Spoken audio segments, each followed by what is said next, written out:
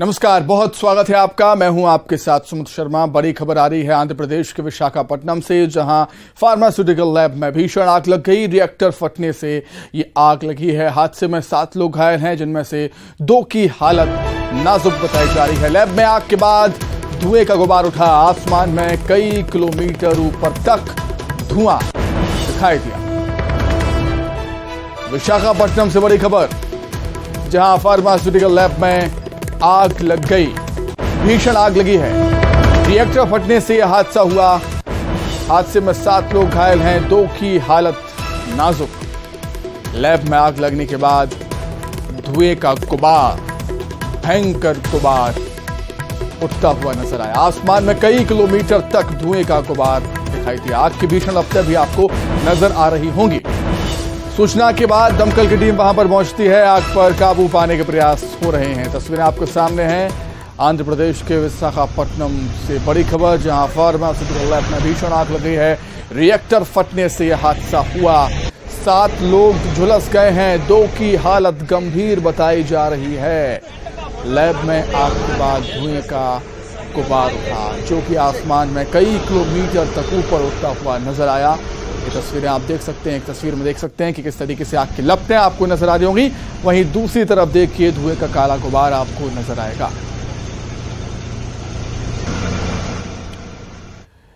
जबलपुर से खबर है, जहाँ चुनाव से पहले महाकौशल में बड़े उलटफेर की संभावना है। दिग्विजय सिंह से मिले हैं बीजेपी नेता हरेंद्र जीत सिंह बब्बू। दोनों की मुलाकात हुई और सियासी गर्मी बढ़ गई। मुलाकात की तस्वीरें सोशल मीडिया पर वायरल हुई हैं। हरेंद्रजीत सिंह बब्बू के कांग्रेस में शामिल होने की चर्चा है अब इस मुलाकात के बाद। वीडी शर्मा पर गंभीर आरोप लगा रहे हैं बब्बू। लंबे समय से पार्टी के खिलाफ नज़र आ रहे हैं बब्बू। दो बार बीजेपी विधायक रह चुके हैं हरेंद्रजीत सिंह बब्बू। आबकारी मंत्री भी रह चुके हैं हरेंद्रजीत सिंह। तरुण भनोट ने 2013 और 18 में बब्बू को हराया था। दिग्विजय सिंह से उनकी मुलाकात हुई है और अब उनके कांग्रेस में जाने की चर्चाएँ भी तेज हो गई हैं। जबलपुर से बड़ी खबर। महाकौशल में बड़े उलटफेर की संभावना। विधानसभा चुनाव से पहले ऐसा हम इसलिए कह रहे हैं क्योंकि यह मुलाकात हुई। दिग्विजय सिंह और हरेंद्र जीत सिंह बब्बू की। और इस मुलाकात के बाद कई सारे कयास लगाए जा रहे हैं। सोशल मीडिया पर तस्वीरें सामने आई हैं। हरेंद्रजीत सिंह बब्बू के कांग्रेस में शामिल होने की चर्चा है अब। प्रदेश अध्यक्ष विजय शर्मा पर गंभीर आरोप लगा रहे हैं बब्बू। लंबे समय से पार्टी के खिलाफ भी नज़र आ रहे हैं बब्बू। दो बार बीजेपी के विधायक रह चुके हैं आबकारी मंत्री भी रह चुके हैं। तरुण भनोट ने 2013-18 में बब्बू को हराया था।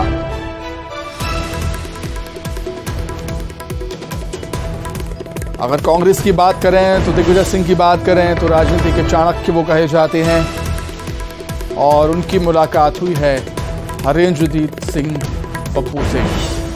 अधिक जानकारी के लिए हम बातचीत करेंगे। संवाददाता पवन पटेल जुड़े हुए हैं फ़ोन पर। पवन, इस मुलाकात से कई सारे कयास अब लग रहे हैं क्योंकि बब्बू पार्टी के खिलाफ नज़र आ रहे थे। बिल्कुल यदि बात की जाए कि बब्बू के बयान की तो अक्सर इस तरह के बयान उनके सामने आते रहे हैं।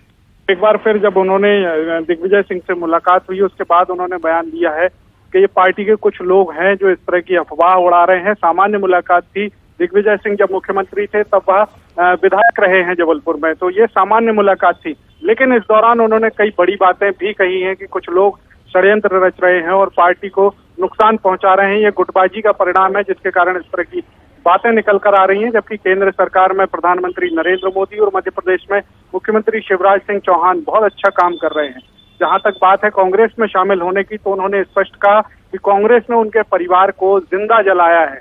और इसके साथ ही उनके परिवार के लोगों को जेल भी भेजा है। तो ऐसे में देखा जाए तो बब्बू की बात पर जो है अभी कुछ भी कहना संभव नहीं है लेकिन उन्होंने आखिरी में ये ज़रूर कहा कि बहुत जल्द समय आने पर वो कुछ नए खुलासे करेंगे कुछ नई बातें भी सामने आएँगी। तो आने वाले समय में बब्बू क्या करेंगे क्या कहेंगे या कहाँ रहेंगे ये कहना मुश्किल है लेकिन फ़िलहाल जो तस्वीरें सामने आई हैं उससे चर्चाओं का बाज़ार गर्म है और बीजेपी में खास तौर पे इस बात की चर्चा भी ठीक है पवन बहुत शुक्रिया आपका जुड़ने के लिए। सीधे आपको बिलासपुर दिए चलते हैं जहाँ पर जेपी नड्डा कार्यक्रम स्थल पहुँचे हैं। उनका स्वागत बीजेपी के नेता करते हुए नज़र आ रहे हैं। और रेलवे ग्राउंड पर ये कार्यक्रम हो रहा है। ये तस्वीरें आपके सामने मंच पर पहुँच चुके हैं जेपी नड्डा। अरुण साव आपको नज़र आ रहे होंगे ओम माथुर आपको वहाँ पर नज़र आ रहे होंगे तो बिलासपुर में आपसे कुछ ही देर बाद जनसभा को संबोधित करेंगे बीजेपी के राष्ट्रीय अध्यक्ष जेपी नड्डा। उससे पहले ये सम्मान स्वागत। धर्मलाल कौशिक भी वहाँ पर मौजूद हैं, अरुण साह भी वहाँ पर मौजूद हैं, बीजेपी के तमाम दिग्गज नेता वहाँ पर मौजूद हैं मंच पर।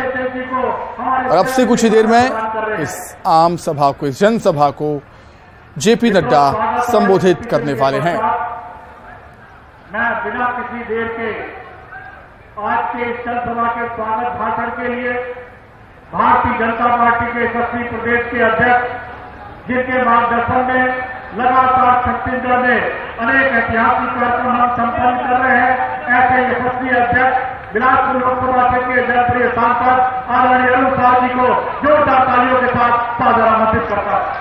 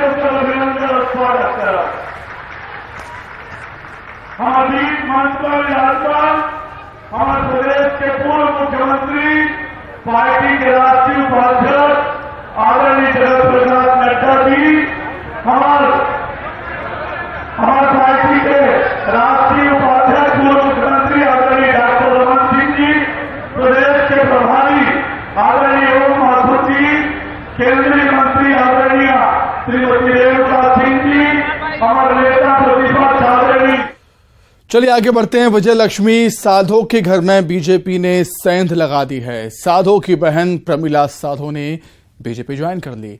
राष्ट्रीय अध्यक्ष जेपी नड्डा और सीएम शिवराज सिंह चौहान ने उनको बीजेपी ज्वाइन कराई है। बीजेपी की सदस्यता दिलाई है। आपको बता दें, महेश्वर से कांग्रेस के विधायक हैं विजय लक्ष्मी साधो और उनकी बहन प्रमिला साधो ने अब बीजेपी ज्वाइन कर ली है। सीताराम साधव को क्या क्या सम्मान दिया कांग्रेस ने?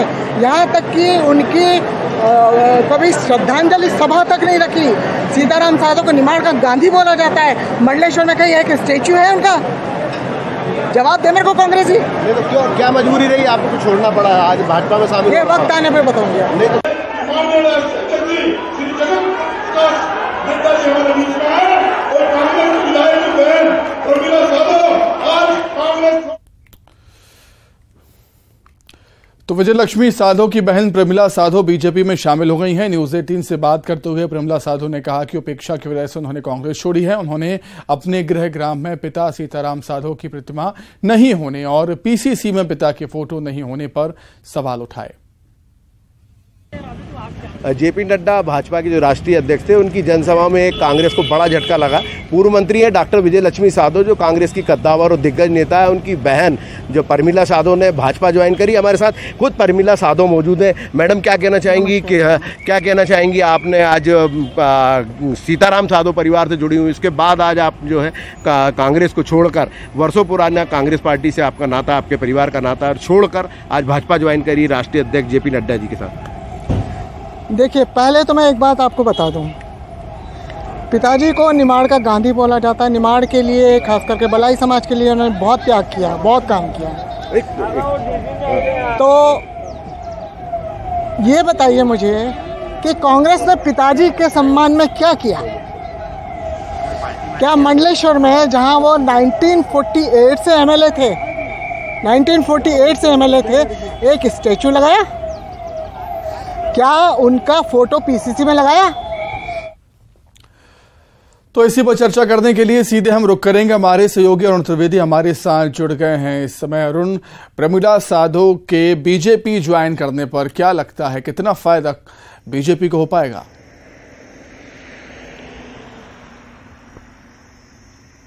बिल्कुल देखिए, इस तरह जो इस क्षेत्र की नेता हैं, विजय लक्ष्मी साधो, पूर्व मंत्री हैं, कांग्रेस की विधायक, उनकी सगी बहन है प्रमिला साधो।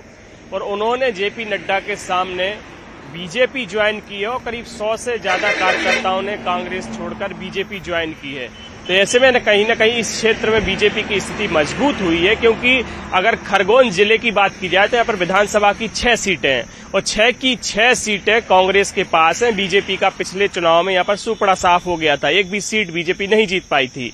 और यही वजह है कि जेपी नड्डा ने यहाँ पर रोड शो किया और एक तरह से खरगोन में एक बीजेपी की फिर से पैठ बनाने की कोशिश यहाँ पर की जा रही है जिससे कि बीजेपी की वापसी हो, हो सके। और इसी कड़ी में एक कदम माना जाएगा कि प्रेमला साधो को अब बीजेपी ज्वाइन कराई गई है। साथ ही सौ कार्यकर्ता भी कांग्रेस के हैं। वो बीजेपी ज्वाइन की है तो कहीं न कहीं बीजेपी ज़रूर मज़बूत होगी। और जो विजय लक्ष्मी साधो है उनको ज़रूर कहीं ना कहीं झटका लगेगा क्योंकि उनकी सगी बहन है और उन्होंने बीजेपी ज्वाइन की है। हालाँकि प्रमला साधो अभी तक कोई चुनाव नहीं लड़ी है, लेकिन वो चाह रहे हैं कि महेश्वर से अगर उनको टिकट मिलता है तो वो चुनाव लड़ेंगी और महेश्वर से ही उनकी बहन विजय लक्ष्मी साधो अभी विधायक है। तो ऐसे में दोनों बहनों की टक्कर भी हो सकता है आगे चलकर। देखने को मिले आगामी विधानसभा चुनाव में। लेकिन काफ़ी दिलचस्प होगा अरुण अगर ऐसा होता है तो बहुत दिलचस्प मुकाबला देखने को मिलेगा अगर ऐसा हुआ। बहुत धन्यवाद अरुण आपका जुड़ने के लिए तमाम बातचीत के लिए आगे बढ़ते हैं। मध्य प्रदेश में चुनावी रण सजने लगा है और रण में अपना दम दिखाने के लिए बाहरी सूरमा पहुँचना शुरू भी हो चुके हैं।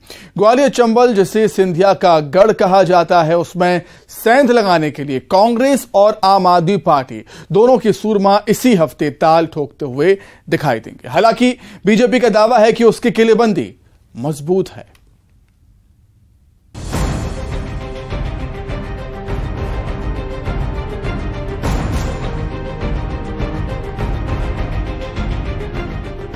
ग्वालियर चंबल अंचल वो क्षेत्र है जिसने साल 2018 में सूबे में कांग्रेस की सरकार बनाने में अहम भूमिका निभाई। लेकिन इसी क्षेत्र के विधायकों की बगावत से कांग्रेस को सत्ता गंवानी पड़ गई। यही वजह है कि कांग्रेस इस क्षेत्र को हर हाल में न केवल फिर से फतह करना चाहती है, बल्कि पहले मिले जख्म को जीत से भरने की तमन्ना रखती है। लेकिन ये इतना आसान नहीं होने वाला, क्योंकि अब आम आदमी पार्टी भी चुनाव में पूरा ज़ोर लगाती नज़र आएगी। गुजरात में दमदार मौजूदगी के बाद उसका फोकस मध्य प्रदेश और छत्तीसगढ़ दोनों पर है। तभी तो सिंधिया के गढ़ में सेंध लगाने के लिए एक जुलाई को आम आदमी पार्टी के दिल्ली सीएम अरविंद केजरीवाल और पंजाब के सीएम भगवंत मान एक बड़ी रैली ग्वालियर में करेंगे। प्रदेश अध्यक्ष रानी अग्रवाल का दावा है कि रैली को देखकर दूसरे दलों में हलचल मच जाएगी। हाँ बिल्कुल हमारे लगभग एक लाख से अधिक संख्या के आने की उम्मीद है। पूरे मध्य प्रदेश में और पूरे मध्य प्रदेश के कार्यकर्ता पदाधिकारी जनता से संवाद कर रहे हैं रैलियाँ कर रहे हैं और एक पत्र के माध्यम से करें कि आप सब आइए और इस बार मध्य प्रदेश में बदलाव करना है और जनता का भरपूर आशीर्वाद सपोर्ट मिल रहा है सहयोग मिल रहा है और एक एक, एक जुलाई को आपको देखने को मिलेगा। वहीं अपनों के दिए दर्द से दुखी कांग्रेस एक बार फिर से कम के लिए पूरा ज़ोर लगा रही है। अजय सिंह राहुल भैया को इसलिए यहाँ पार्टी ने कमान सौंप रखी है, जो लगातार कैंप कर रहे हैं। और ये दावा भी कि यहाँ की 34 में से 27 सीट पर कांग्रेस का पंजा दिखेगा। कांग्रेस के इसी दावे को और दम देने के लिए कांग्रेस महासचिव प्रियंका गांधी भी जुलाई के पहले पखवाड़े में ही यहाँ प्रचार अभियान करती नज़र आने वाली हैं। उधर कांग्रेस कहती है कि मुकाबला तो बीजेपी और कांग्रेस में है। आम आदमी पार्टी तो अंचल में दखल अंदाजी करने की कोशिश कर रही है। ग्वालियर चंबल में जो हालत पिछली दफे कांग्रेस पार्टी की थी, उससे थोड़ा बेहतरी होगी, कमज़ोर नहीं होगी। नहीं, पहले पहले स्पष्ट हो जाए, सिंधिया जी कोई चुनौती नहीं है। सिंधिया जी चुनौती है बीजेपी वालों के लिए। आप पार्टी की जहाँ तक सवाल है, वो कोशिश ज़रूर करेंगे, लेकिन नुकसान किसका करेंगे तो समय बताएगा। कांग्रेस और आम आदमी पार्टी दोनों ही दल सत्ता में मौजूद बीजेपी को घिरने में कोई कसर बाकी नहीं रखने वाले। लेकिन फिर भी बीजेपी दिखाने के लिए ही सही, खुद को निश्चिंत बताती है। कहती है, दिन के सपने कभी पूरे नहीं होते और केजरीवाल से तो फ़र्क ही नहीं पड़ेगा। राहुल भैया और उनकी पूरी कांग्रेस। मैंने सुना था कि लोग सोते समय सपना देखते हैं। कांग्रेस के लोग दिन में सपना देख रहे हैं और ये उनका सपना कभी पूरा होने वाला नहीं है। ग्वालियर चंबल संभाग में हम ऐतिहासिक रूप से जीत के आने वाले हैं। ये चुनाव है, चुनाव में सारे राजनीतिक दल के लोग आते हैं, लेकिन आम आदमी का मध्य प्रदेश में उतना असर नहीं है, जितना लोग सोच रहे हैं। ग्वालियर चंबल अंचल दिल्ली से करीब होने के चलते यहाँ आम आदमी पार्टी को अपने लिए ज़्यादा संभावना नज़र आना हैरान नहीं करता। तो वहीं दूसरी ओर कांग्रेस की खोई ज़मीन वापस पाने की तमन्ना भी लाजमी है। लेकिन देखना यह है कि ग्वालियर चंबल के गढ़ को बचाने के लिए खड़े बीजेपी के कई दमदार सूरमाओं से ये दोनों दल मुकाबला कैसे करेंगे? सुशील कौशिक, न्यूज़ 18 ग्वालियर। तो इसी के साथ ही तेईस की महाभारत में फ़िलहाल इतना ही।